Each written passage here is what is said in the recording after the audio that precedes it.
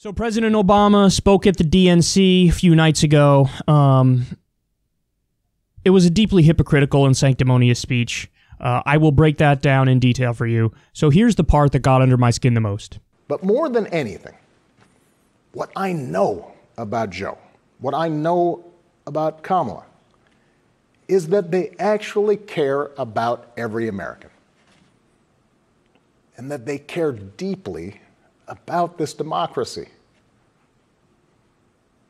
They believe that in a democracy, the right to vote is sacred, and we should be making it easier for people to cast their ballots, not harder. They believe that no one, including the president, is above the law, and that no public official, including the president, should use their office to enrich themselves or their supporters. Look, I understand why a lot of Americans are down on government.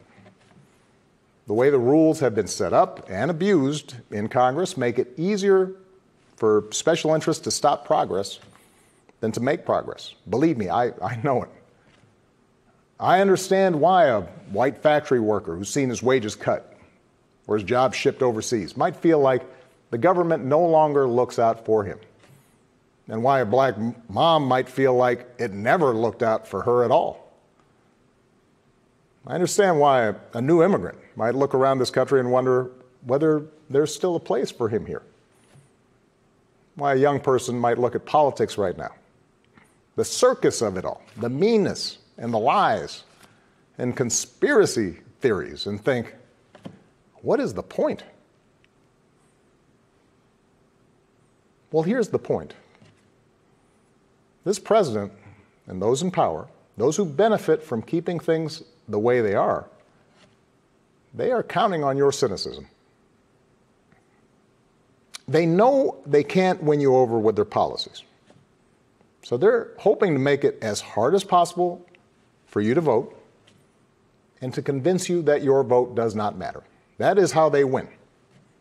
That is how they get to keep making decisions that affect your life and the lives of the people you love. That's how the economy will keep getting skewed to the wealthy and well connected. How our health systems will let more people fall through the cracks. That's how a democracy withers until it's no democracy at all. And we cannot let that happen. Do not let them take away your power. Do not let them take away your democracy. Make a plan right now for how you are going to get involved and vote. Do it as early as you can and tell your family and friends how they can vote too. This speech is quintessential Obama. Man, that was masterful to watch, and I don't mean that in a positive sense, so let me explain.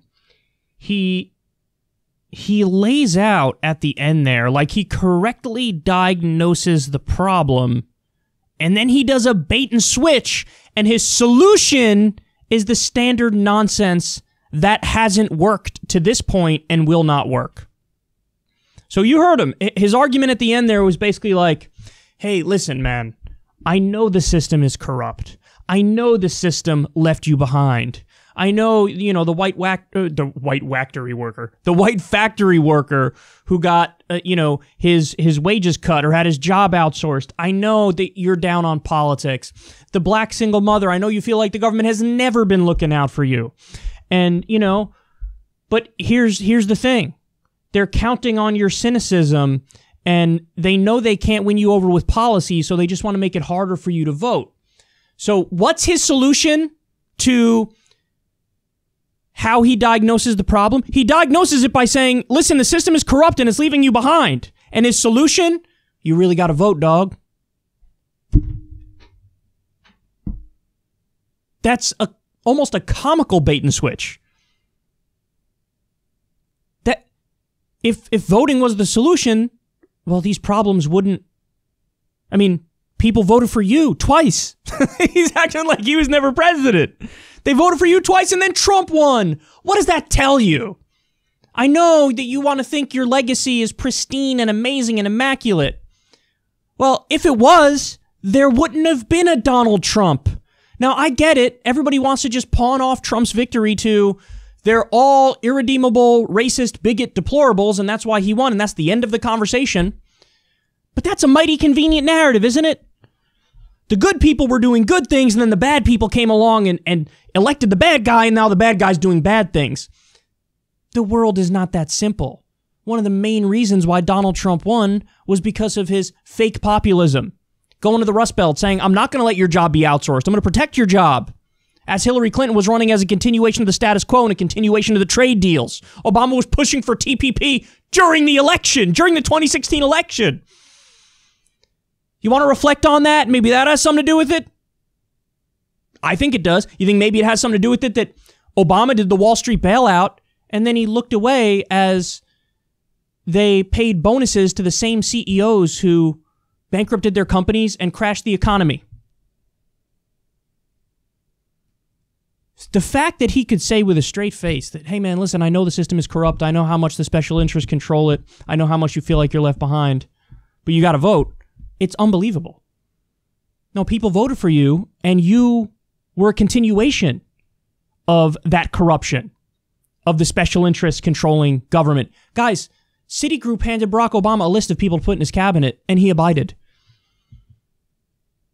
He literally brings up there, he said, um, Nobody, including the president, is above the law. You shouldn't use the office to enrich yourself or your supporters. The very first story about Barack Obama after he got out of office, remember this?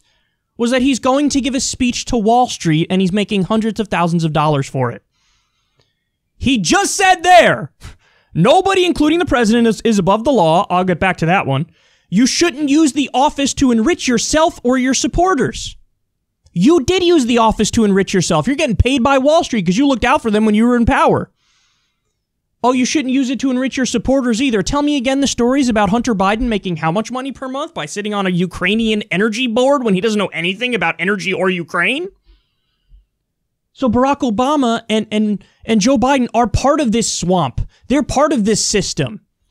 They're also insiders and that corruption was exploited by a fake outsider, a demagogue who pretended to be more populist, and they still don't understand, and they still don't diagnose that problem properly, or they still don't acknowledge their own failings, is a better way of putting it. And that line nearly killed me, by the way, when Obama said nobody, including the president, is above the law. George W. Bush is above the law because you didn't prosecute him. You're saying nobody's above the law you actively made a decision as president that I'm going to let George W. Bush and Dick Cheney and Donald Rumsfeld and Paul Wolfowitz and Bill Kristol, I'm going to let them be above the law. They lied us into an illegal and offensive war against a country that didn't attack us, and there were no consequences. H- minimum hundreds of thousands of innocent civilians, women and children, died in Iraq. Obama only goes as far as calling it a mistake. No, no, no. It's not a mistake. It was very intentional. And it was a war crime. It was illegal. It's not a mistake. A mistake is when you drop your plate of food. You just, whoopsie, invaded a country and killed hundreds of thousands of innocent people. That's not a mistake. That's how Obama talks about it. Because if you're part of the elite ruling class, it's just differences of opinion. Torture? That's a difference of opinion. Some people are pro torture, some people are against torture. It's not that it's illegal, it's not that it's unconstitutional, it's not that we gave Japanese soldiers the death penalty in World War II after they tortured our people. It's not that we got these these uh, torture techniques from communist Chinese manuals on how to torture. No. It's just a difference of opinion. We tortured some folks, as Obama said. The president is above the law. The president is above the law. You know who else is above the law? Barack Obama. You were president, you're above the law.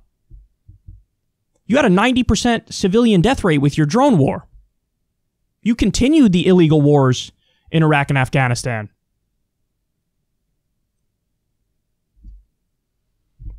Looks to me like the president is above the law. That's what it looks like to me.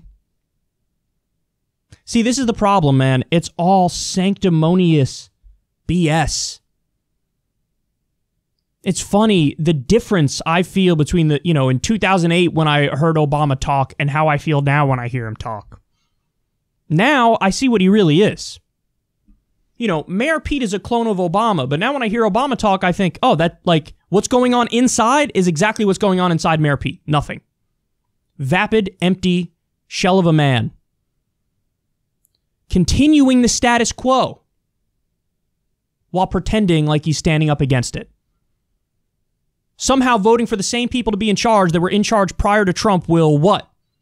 Fix all of our problems? No, seems to me like it'll help lead to the next Trump. Because neoliberal corporatism has consequences, it has a backlash. And he even bothered to say at the beginning of his speech Joe and Kamala care about every American, and they care about our democracy. Did they care about, did you guys all care about democracy when at the very last minute, you made some phone calls to Amy Klobuchar and Mayor Pete and got them to drop out for a promise of positions in a Biden administration. So you coalesced and consolidated at the very last minute to stab the populist progressive in the back, the guy who would have gotten us health care and would have ended the wars. Did you care about democracy then? Did you care about democracy when the news came out about how in 2016 they effectively rigged the primary against Bernie Sanders? That's what we learned as a result, their own words from, from the WikiLeaks leaks. Now, what do they say in response to that? Oh my God, Russia maybe, maybe not was behind it. So if you talk about it, you're aiding a foreign power. So shh, www.shh.com, you're not allowed to talk about facts about what we know happened because something, something Russia bad. But did you care about democracy back then? Did you care about democracy when they were rigging it and trying to take it from Bernie Sanders? Now it's the sanctimonious, our democracy! Yes, our democracy! Did Joe and Kamala care about every American when Joe wrote the crime bill and when Kamala was all, look at me, I'm a law and order person? Seems to me like you didn't care about the Americans who smoked weed, for example. Joe locked them up. Kamala laughed at the idea of legalizing weed in like 2014. By the way, how are we ever going to end systemic racism if we don't end the racist drug war and free all the nonviolent drug offenders?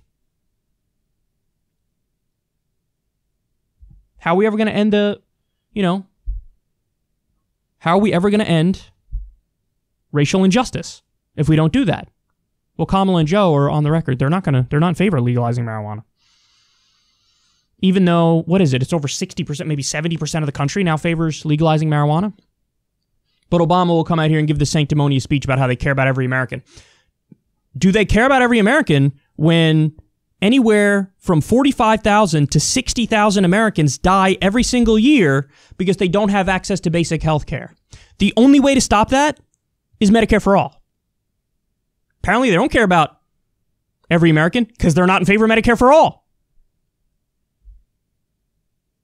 You're still going to have deaths because of a lack of health care. Joe's own plan on his own website said, I want to cover 97% of Americans. What about the other 3%? Screw him? Is that, I guess that's your position. Only 97% is his ideal plan. It's not even like he started with 100 and was negotiated down by big bad Republicans 97%. He started with 97%. They don't care about every American. They don't. You don't. Sorry.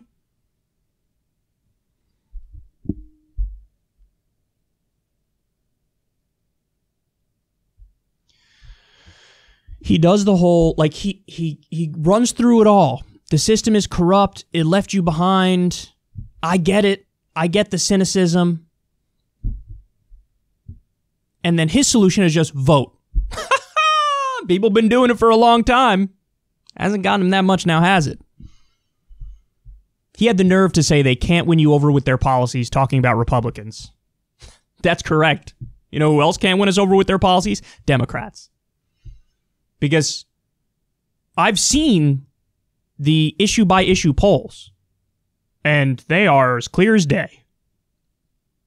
The American people overwhelmingly want Medicare for all. They want free college. They want to end the wars. They even want a Green New Deal. These are all things that the Democrats are not going to be for.